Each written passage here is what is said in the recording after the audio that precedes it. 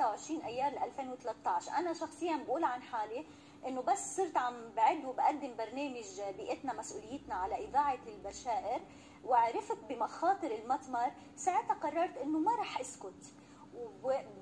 الوقت اللي أنا اتخذت هالقرار تعرفت على مجموعة من الشباب والصبايا ببلدة بعورتا وهي إحدى البلدات المجاورة للمطمر وبلدة عرمون. وكنا رحنا عملنا هايكينج بالطبيعة وبلشنا نتواصل مع بعض ومن وقت انطلقنا وقررنا إنه نحن هيدا المطمر بده يتقفل. طيب خلينا نمشي بهالنقطة معك رافده هل هو الحل إنه